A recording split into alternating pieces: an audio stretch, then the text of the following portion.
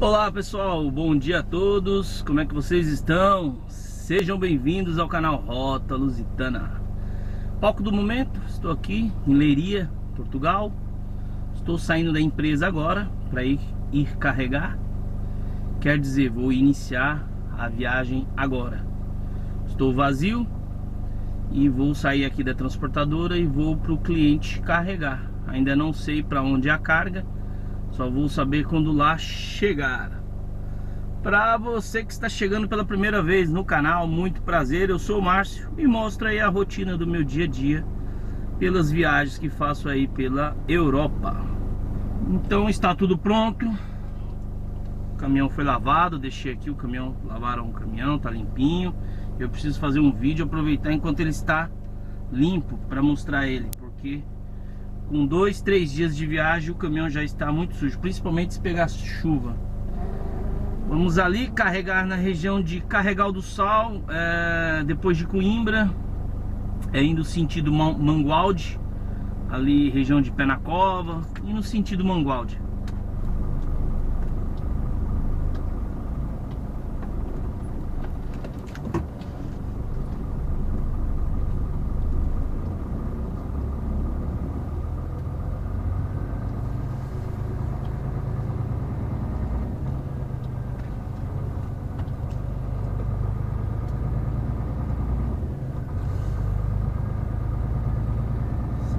da empresa.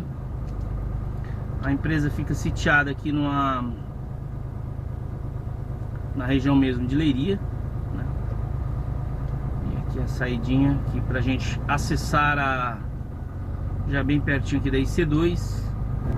Termômetro marcando aí 27 graus, é, tá um calorzinho mais ou menos, viu? Por ser outono já, apesar que tá no início ainda, né?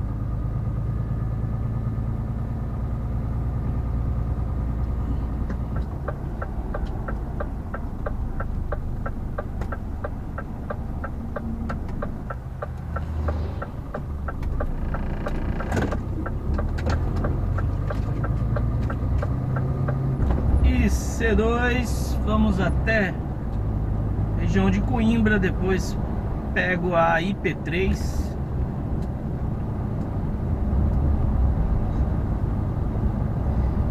E vamos viajar, viajar, a nossa vida é viajar, gente. Quem acompanha aí o canal mais com frequência, viu que alguns dias atrás eu postei um vídeo a respeito da falta de motorista na Europa e principalmente é, a, a, grande falta na Inglaterra, né? Está aí um estado extremo é, por conta da falta de motorista, principalmente nos, nos setores de combustível. É, é o setor que mais sofre com a falta de motorista. E foi um vídeo que deu bastante comentário, muita gente comentou, né?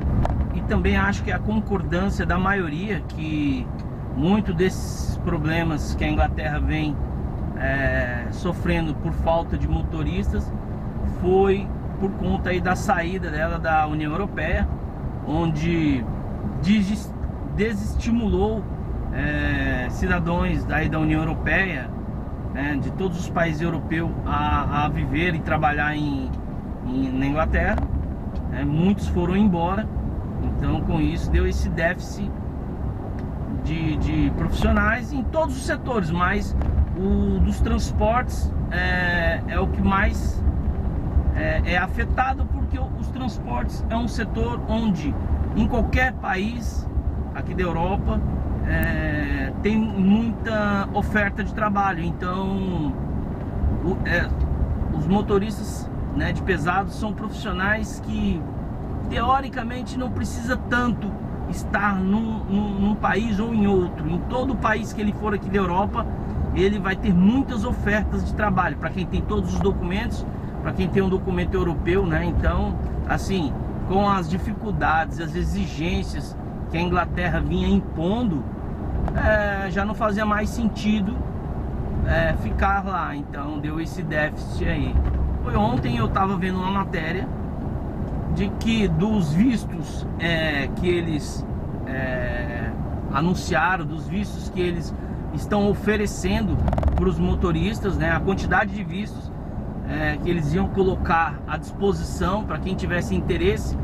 Não importa se você é brasileiro, peruano, venezuelano, qual seja a sua nacionalidade é, de nascimento, né? O que interessa é que você tenha é, a nacionalidade, né, um outro documento europeu. Mas eu estava vendo que é, a matéria tratou de dizer que da quantidade de vistos que eles colocaram, nem 5% até agora apareceu interessado. Porque além do tudo, além deles estarem com essa necessidade muito grande aí, já começam com uma certa exigência, né? A princípio eu vi dizer na matéria que era só por três meses. Quem tivesse o interesse e tivesse os pré-requisitos para para ser selecionado nesse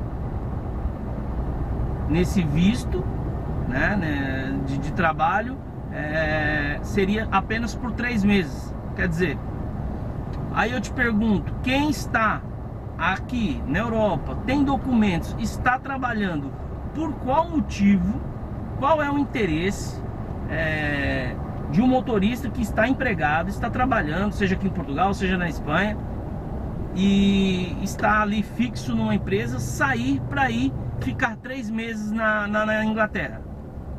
Se há, há, muitas ofertas de trabalho aqui mesmo em Portugal ou na Espanha. Primeiro, eles teriam que estar oferecendo um absurdo de salário, né? uma, uma proposta muito, muito, muito irrecusável. Que assim, três meses fosse mudar a vida da pessoa. Tipo assim, uh, o cara fala, não, eu vou lá ficar três meses, depois volto por exemplo, para cá, para Portugal, porque esses três meses que eu vou trabalhar lá equivalem a, a, um ano e meio aqui em Portugal de trabalho. E depois volto, né? A hora que acabar o, o período, volto para Portugal e inicio depois numa, numa outra empresa aqui. Sim, mas com certeza a oferta não são nesses valores. As ofertas não, não, não, não devem ser valores astronômicos que façam com que. Ah, mexa mesmo com a, a pessoa que a, a, ponto da pessoa sair daqui de Portugal ou sair da Espanha, sair do trabalho que ela está, né, onde ela tem uma segurança, onde ela já, já tem um trabalho que é estável, né, para ir viver uma situação instável de apenas três meses. Então, por esse motivo, penso que até agora, pela matéria, pela reportagem, foi especificado que não teve muita procura, as pessoas não estão aderindo. E me parece que eles já vão rever esse período de não três meses e sim é, deixar um período livre, né? já mais ou menos como era na época da que a Inglaterra ainda pertencia à União Europeia. Eles vão ter que fazer isso porque ninguém que está estabilizado vai abandonar o seu trabalho estabilizado, estável, para ir viver uma aventura de três meses, a não ser que seja, como eu disse, uma proposta irrecusável, que, olha, vai mudar a vida da, da pessoa, né? Porque são apenas três meses, então a pessoa não vai poder deslocar a família, porque não vale a pena. Então ela, ela tem que deixar as coisas como estão e ela ir lá ir lá tentar a sorte, ver como é, né? E esse aí eu penso que no, no caso das pessoas que têm interesse. Porque a profissão de motorista é uma profissão, como eu disse, aqui na Europa pelo menos não há desemprego. Não há desemprego nesse setor. É quem é motorista, tem os documentos, ou está trabalhando ou não está trabalhando por opção própria. Aí tirou um tempo aí sabático para resolver as coisas e tal, mas é, não há falta, não há desemprego, então é, é um tipo de ramo que as empresas precisam conquistar o profissional, precisam oferecer condições é, muito favoráveis para que um profissional troque de trabalho, né? E principalmente não é nem só troca de trabalho, ele vai sair daqui da, vai sair da Espanha, vai sair daqui de Portugal para ir viver uma aventura na Inglaterra. Então, qual seria esse, essa isca, essa coisa, essa proposta irrecusável? Um alto salário. Pois bem, pessoal, acabei de carregar no caminho para cá. Fiquei com pouca bateria da, da câmera, mas agora eu vou dar seguimento aqui à viagem. Carreguei aqui nessa empresa. É, são umas peças de estrutura acho que para estrutura de, de ponte são as peças compridas cada peça tem aí uns 12 metros mais ou menos e a carga lá para a França então vamos é uma carga para a região de Bresson acho que é Bresson tá um pouco abaixo de Lyon Vai dar 1.560 quilômetros até o cliente. E eu preciso achar um supermercado porque não na correria em casa não fiz compra para viagem. Homem disse que esse portão é automático. Tem um sensor, esses portões eles têm um sensor no chão conforme o veículo se aproxima da saída se aproxima do portão, o portão abre. E como eu estava dizendo, eu não fiz compra para viagem. Normalmente eu trago, né? Trago uh, algumas comidas prontas, mas compro muita coisa no, no supermercado para depois preparar. E eu vou ter que parar num, num supermercado por aqui. Porque eu vou em direção a Mangualde, pela Nacional aqui. Pode ser que eu passe por algum supermercado. Pode ser Pingo Doce, pode ser Continente, qualquer um dos dois serve. Melhor do que eu não fazer compra aqui e depois fica mais complicado. Na Espanha o supermercado não é caro, mas é, na minha rota que eu vou seguir para parar no supermercado eu vou ter que sair muito da rota. E na França o supermercado já é um pouco mais caro, né? Então, vários caminhões aí dos colegas para carregar também. Sempre quando vamos viajar tem que fazer compra em Portugal, né? Abastecer o caminhão aí né? de, de mantimentos, porque a gente nunca sabe ao certo quantos dias vão ser de viagem, né? Pode ser 8, pode ser 7, pode ser 9, pode ser 10. E aqui como eu estou, né? Eu acabei de entrar na empresa, aqui é que eu não sei muito bem mesmo.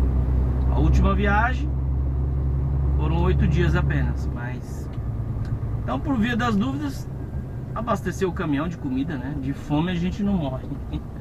Antes de cortar o vídeo, é, a respeito dessa falta de motoristas em na Inglaterra, né? É, como eu disse, o, na matéria que eu li, não, ainda não teve uma procura muito grande pelos vistos. Poucos profissionais se manifestaram aí com interesse em ir para lá. É assim, quem mais se manifesta é quem está em outros países fora da Europa, né? No Brasil, muitos gostariam de ir, mas eles, por enquanto, não estão abrindo essa possibilidade para pessoas fora da, da Europa.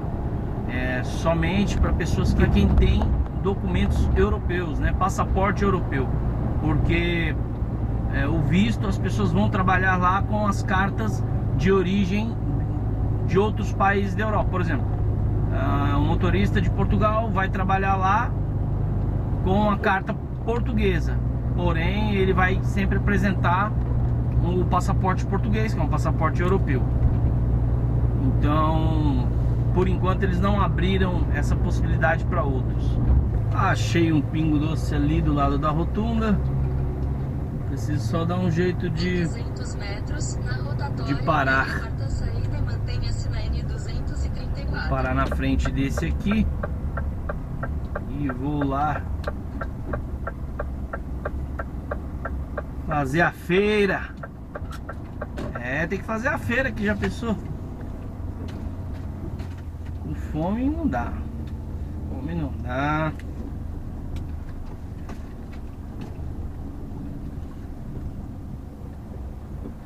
Parece uma coisa. Durante as viagens dá mais fome do que em casa. Não sei se é porque a gente fica ansioso, né? Dentro do caminhão, não sei. Acho que é isso. Um pouco de ansiedade. Essa ansiedade da fome. Mas enfim. Eu vou ficando por aqui. Porque eu vou ali fazer umas comprinhas. Nos vemos no próximo vídeo. Um grande abraço a todos e até o próximo vídeo.